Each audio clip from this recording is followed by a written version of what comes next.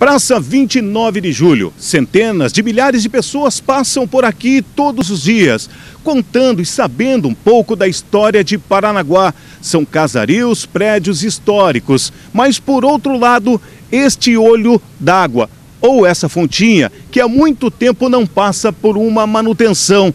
Aqui podemos observar muita sujeira, água podre e até mesmo possível foco do mosquito da dengue pode estar aqui neste local.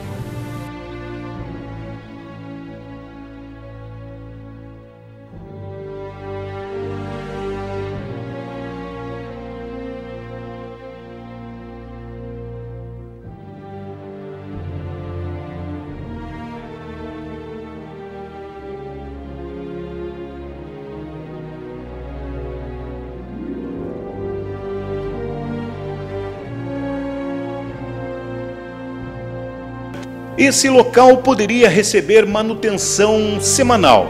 Seria uma forma de manter o lugar limpo e agradável. Os comerciantes, os frequentadores da Praça 29 de Julho esperam que em breve seja feita essa limpeza.